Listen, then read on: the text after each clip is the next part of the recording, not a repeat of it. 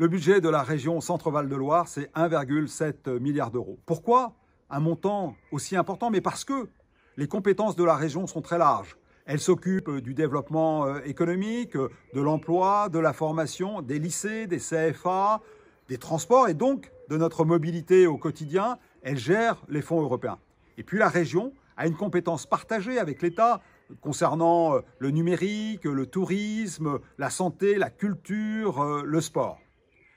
Dimanche, nous aurons en fin de compte euh, le choix entre deux candidats pour cette région qui gère notre vie au quotidien. D'un côté, François Bonneau, allié avec les communistes, les Verts, la France insoumise, les amis par conséquent de Jean-Luc Mélenchon, cette extrême gauche qui paralyse toutes les initiatives, et puis d'un autre côté, euh, Marc Fesneau, qui est un candidat centriste, mais un centriste de conviction, qui refuse les clivages politiques euh, stériles.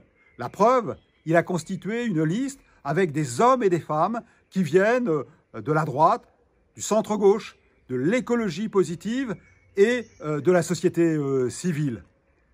Moi, je refuse une région qui soit dirigée par l'extrême gauche qui euh, nous imposera des dictats dans le domaine économique, dans le domaine environnemental, dans le domaine euh, social.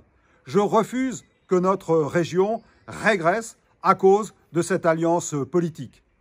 Par contre, je suis favorable à la liste de Marc Fesneau parce que je sais que grâce à son expérience, grâce à ses compétences, Marc Fesneau saura faire de notre région une région qui rayonne, une région dont on est fier, parce qu'il y aura du développement économique, parce qu'il y aura de la culture, parce que les hommes et les femmes qui seront euh, dans cette région seront accompagnés au plus près de leurs préoccupations. Dimanche prochain, je vous invite à ne pas vous abstenir, à aller voter, à aller voter en faveur de Marc Fesneau et de la liste Ensemble, le meilleur est à venir.